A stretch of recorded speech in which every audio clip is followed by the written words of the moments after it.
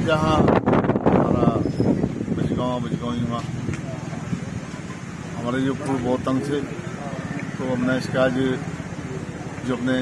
साथी गाँव वाले सरपंच और मेंबर जो भी यहाँ पहुँचे, हमारे ये भी, हमारे जो अगर जाने वाले गाँव थे जिस पे वहाँ जावा कहीं भी जावा बड़ा इसका मैं आज से कर था तो अभी मतलब इसको एक नया बनाने का आज एक काम शुरू हो गया हमारे जिससे शुरू बन जाएगा ये पी सी एम साहब और सी एम साहब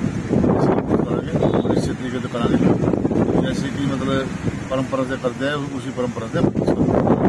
आज तो हमने जो भी मतलब जो देखा जैसे इनकी डिमांड होगी हम उस हिसाब से आज ये पूरा करेंगे। गाँववासी करें कि भी इस सड़क से मोड़ खत्म किया जाए, इस पर क्या कहेंगे मूडी खत्म कराएँगे, जब मोड़ खत्म कराएँगे, बढ़िया बनाओगे, इसको बढ़िया बनाओगे मतलब कोई दिक्कत नहीं, और भी इसका जो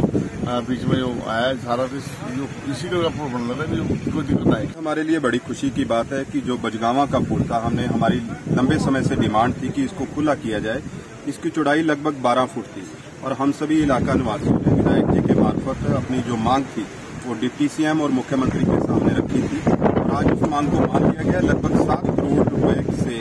का निर्माण होने जा रहा है। और बहुत अच्छा पुल बनकर ये हमारे इलाका निवासियों को इसकी जो जो सौगात मिली है, इसके लिए हम डिप्टी सीएम माननीय उप मुख्यमंत्री दुष्यंत सिंह चौटाला जी और माननीय मुख्यमंत्री श्री मनोहर लाल जी का और विशेष रूप से अपने इलाके के विधायक माननीय श्री रामकरण काड़ा जी का धन्यवाद करते हैं कि इन्होंने हमारी मांग को वहाँ पर पहुँचाया और हमारी मांग जो स्वीकृत हुई और आज पुल बनकर वो एक अच्छी जो एक मांग हमारे एरिया की पूरी हो, पूरी होने जा रही है और जो थोड़ी बहुत ही दिक्कतदारियाँ आ रही हैं कि इस मोड़ को खुला किया जाए उसके लिए भी एक्शन साहब को हमारे विधायक जी ने बोल दिया है और उसको भी अच्छे तरीके से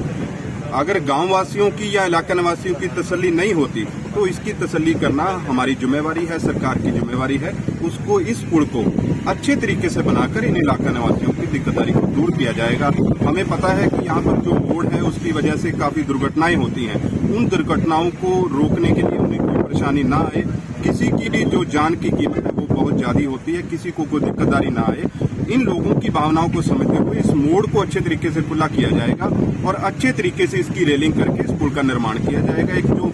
मैं समझता हूँ कि बहुत अच्छा पुल, सात करोड़ का बजट मैं समझता हूँ कि एक बहुत बड़ा बजट जो इस पुल निर्माण के लिए दिया गया है। तो मैं इसके लिए पुनः अपनी सरकार का धन्यवाद करता हूँ, विधायक जी का धन्यवाद करता हूँ और इसके लिए समूह इलाका निवासियों को इसके लिए हार्दिक बधाई देता हूँ। कि जो हमारी लंबी मांग थी वो स्वीकृत हुई है और इस पुल का निर्माण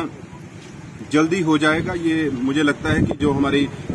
जो यहाँ पर एजेंसी काम कर रही है, उसने कहा है कि हम चार महीने के अंदर इस पुल का निर्माण कार्य कर देंगे। तो ये एक बहुत बड़ी बात है। इसके पुल का जो निर्माण है वो दिन रात चलेगा। इसका कार्य शुरू हो चुका है। आने वाले दिनों में माननीय मुख्यमंत्री जी और उप मुख्यमंत्री जी इस पुल का उद्घाटन करेंगे और विधायक जी की मौजूदगी में हम सभी इस पुल का उद्घाटन करवाएँगे और इस पुल के ऊपर जश्न